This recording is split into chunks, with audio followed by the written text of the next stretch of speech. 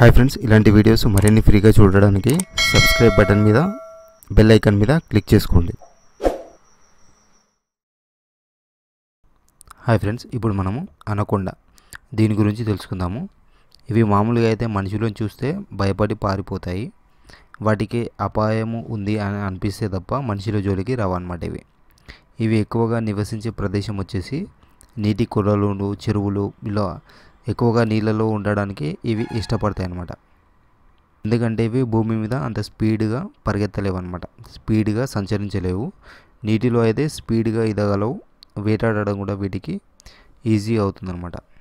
ఎక్కువగా చేపలు తాబేలు పందులు జింకలు సో ఇలా కొద్దిగా పెద్ద పరిమాణంలో ఉండే వాటిని కూడా వేటాడగలదనమాట ఇది ఎక్కువగా ఆహారం దొరకలేనప్పుడు మాత్రమే పెద్ద పెద్ద జంతువులు ఉంటాయి కదా వాటి జోడ్లకి వెళ్తుందనమాట లేకపోతే చిన్న చిన్న వాటితోటి ఇది సరిపెట్టుకుంటుంది.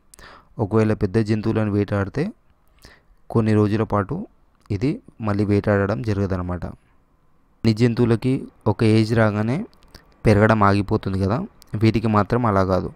జీవితాంతం పెరుగుతూనే ఉంటాయి అన్నమాట ఆరు నెలలకు ఒకసారి పిల్లల్ని కంటుందన్నమాట. అంటే సంవత్సరానికి రెండుసార్లు ఇది పిల్లల్ని కంటుంది. ఒక ఒకసారి ఇది కాన్పులో మనకి నలభై పిల్లలకి వరకు కూడా జన్మనిస్తుంది అనమాట ఇది పుట్టగానే పిల్లల్ని వదిలేస్తుంది. తనతోటే ఉంచుకోదు. పిల్లల్ని స్వేచ్ఛగా పంపించేస్తుంది అనమాట సో వీటి యొక్క జీవితకాలం వచ్చేసి పన్నెండు నుంచి పదమూడు సంవత్సరాల వరకు ఉంటుంది.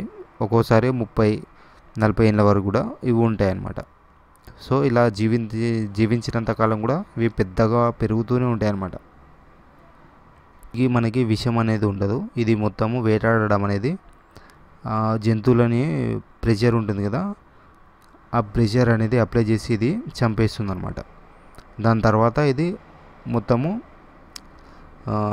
స్వాలోయింగ్ అంటే మొత్తము మింగేస్తుంది అనమాట ఆ జంతువులని మింగేసి తినేస్తుంది ఇది.